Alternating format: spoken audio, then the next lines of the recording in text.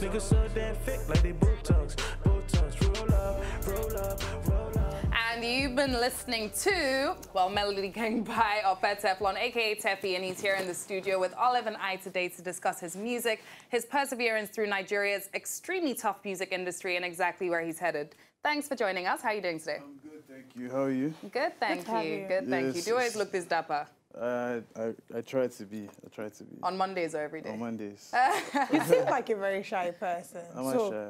tell us, are you a shy person? or are I'm you not, person I'm of not an shy. act? I'm not Because shy. you find that a lot of people who are in the music industry, they have a persona on stage, Mm. and the personality that they actually really portray to their friends and to their families is totally different. different. from what they have on stage. So I'm tell a- us, you have a separate personality on stage where Beyonce have- has Sasha Fierce. I think I think I have. Oh, that's a good one. Like, do you have an alter ego? No, I don't. I don't. I don't have an alter ego. I'm the same guy. Same guy all the time. Fair So enough. My music, my music speaks like the kind of guy I am.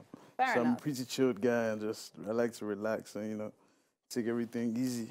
Okay, we're going to go through a journey of your music um, in the industry to discuss your perseverance. But to get there, we have to start from the beginning of your story. So I'm going to need you to tell me exactly what led you to get involved in the music industry, where your passion stemmed from, and how it's going.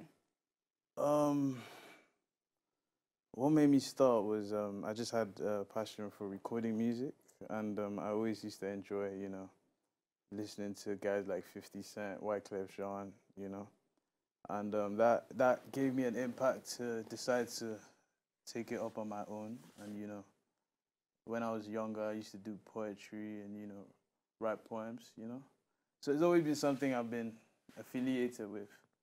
So now that I'm older, I realize that oh, now I can start producing music myself.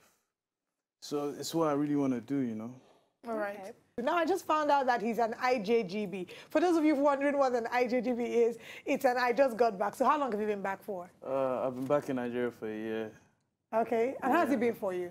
It's, it's been a good experience, you know, meeting new people and um, seeing how the country is. Was it difficult for you to maintain um, your music being abroad? Have you found it easier to work on a lot of your content since you've been back? Um, it's not the same because like when I'm in England, there are guys that I can literally just call anytime to shoot a video. But like in Nigeria, it's so much different. Like so many processes and everything. But at the same time, it's it's just about adapting, you know. And like I'm trying to adapt here, you know. So obviously in England it's more convenient. I can't lie, but at the same time, the stress in Nigeria is part of the fun, you know. I know, right? what would you say has been the most stressful thing for you since you came back to Nigeria? Some people would say it's the weather, some would say it's the traffic, some would say it's the food. So what would you say has been For me, it's the heat. It's the heat, man. I can't deal with heat. I literally hate it. like it's literally melting because was, uh, even as, as cold as it is in here in the studio, but we understand that it's, it's, it's a change of weather. Yeah. But if, if you had the opportunity to do anything differently since you came back, what would you say you'd do differently? What I would do differently? I would have prepared myself better for Nige. But at the same time, the thing is, I was. It's not like I'm coming here for the first time ever. It's just that I came here for the first time in a long time. So, and I was much younger when I came the first time. So, when I came back, it was like so many things are not the way it should be. But at the same time, we just adapt.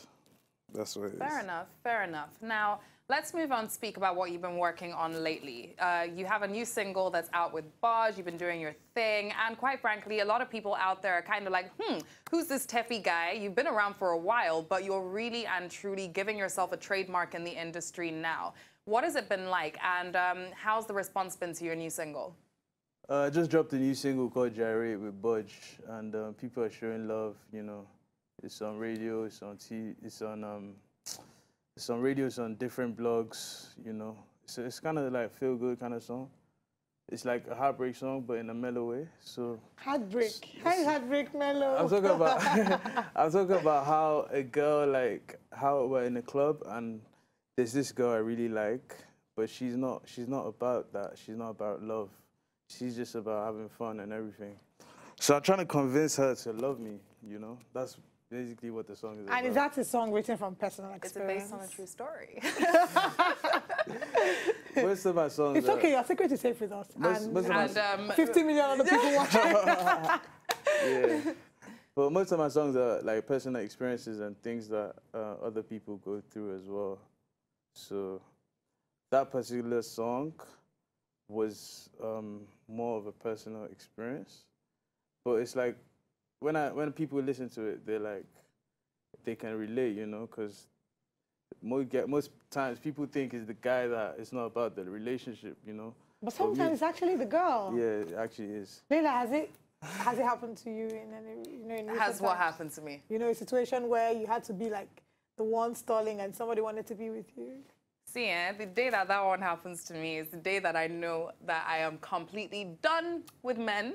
I, in fact, I think that day has already come and gone and I've forgotten. But no, it hasn't actually happened to me. What It about hasn't you? happened to you. Um, in all honesty, I feel like yeah, actually, it's happened to me where somebody really wanted to be with me, but I didn't want to be with the person, or I wasn't sure. Or when Why? someone wants to be with you more than. Uh, that one is a common thing now. I thought you meant No, where but that- a that's guy not- is that's normal, but, I mean, in the sense that like she likes you, but she's she about doesn't the want phone. She doesn't want to relationship, she commit. want to Exactly. When you Yeah. like the person, but you don't want to be in a relationship, but you just. Has it ever happened to you, Leila? You know, Olive.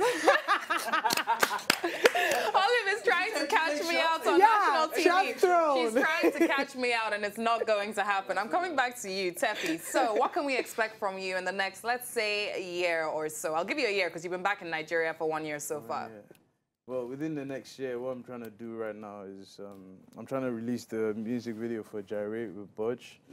Budge is a legend, by the way. Like, I really love Budge in the sense that his music inspires me.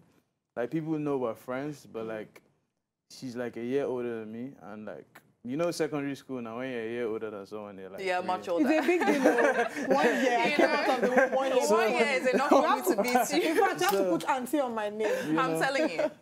So like that's how it was. Like I've known him for years, and I've always looked up to him in music. And the way the song actually happened was crazy because we're we're in one of my friends' birthday parties, Fresh Air, and um, one of my guys was DJing Wayne, and I was about to drop the song, and I told Wayne to just play it again, so that we can see how it sounds like with big speakers. And Budge literally just came into the room. I was like, "What song is that?" And, I and Wayne was like, it's Steffi's song, you know? And Wayne was like, I'm jumping, Budge was like, I'm jumping on that ASAP, you know? So it was like a testimony at the same time. So it was dope how it happened. And what I'm dro- dropping next is the video. That's the next step, you know? So after the video, I'm going to do like a couple more songs that I have in stock. I'm going to release them and release some new videos. Who would you say really inspires you, though? If you could give us one person that is your greatest inspiration in the industry, who would it be? In the Nigerian industry? Or worldwide? Either. Worldwide, my biggest inspiration is probably Drake. Okay. Um, the, the reason because he's like an artist that has been consistent over years, and he's um, able to merge with different age groups. So that's that's kind of what I want to do. You know, I want to I want to add things that to show people that this guy went to school. This guy is not just one guy just trying to sing what he wants to sing. Like I want to sing stories and explain to people that this is what the song is about. You know. Fair so, enough. And in yeah, Nigeria, last one. in Nigeria, who's my biggest inspiration? In I Nigeria? am. You know, it's okay if you don't have any. Just say olive. In I don't Nigeria, want I, have inspirations in Nigeria, but um, the the top the top guys, you know, like Davido and Wizkid, you know, Fair that Brilliant. inspire inspire the youth to like do Fair enough. that, you know, you can achieve. Because those those are the guys at the top, and the the other guys like um. Like Patoranking, that appreciate the kind of music they do, you know. Fair enough. So guys Okay. Okay, well, it's been an absolute pleasure having you join us today. Gyrate is out now featuring Bodge. You can stream it across all platforms. That is Teffy's piece of work. And trust me, I've listened to it. It's good music. But aside from that, coming back after the break, Olive and I are going to be taking you through today in history. Quick one, how can people follow you and find out more on social media? Uh, you could follow me on Twitter, uh, official Teffy1, Okay. Instagram Teffy Teff, three Fs, and um, Royal Sound Music, I, I, um, dot com, royalsoundmusic.com. Okay, so Thank you so official much. Teffy1 on Twitter and Teffy Teff on Instagram. Royal Sound Music is the name of the brand. Thank you so much, Teffy, for joining us I on the show you today. guys. Thank you. To enjoy more of these our Ogbonge videos when you just watch, press this button to subscribe on top of our YouTube page. You go love her.